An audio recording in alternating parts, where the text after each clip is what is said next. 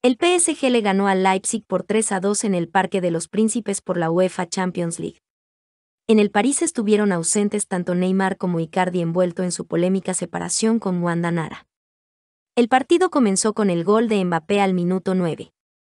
El empate del Leipzig fue en el minuto 28 marcado por André Silva. A los 57 minutos Mukiele daba vuelta el partido y desde ahí comenzaba el show de Leo Messi. A los 67 minutos con una gran asistencia de Mbappé, Empató el París en los pies de Messi y a los 74 el crack argentino marcaba su primer doblete con el PSG, picándola de penal tras la falta que le hicieron a Mbappé. En la previa del partido se produjo un gran saludo entre Messi y Ronaldinho, quien fue su mentor en sus inicios con el Barcelona. Sin duda una imagen que llenó de nostalgia a más de una persona amante del fútbol.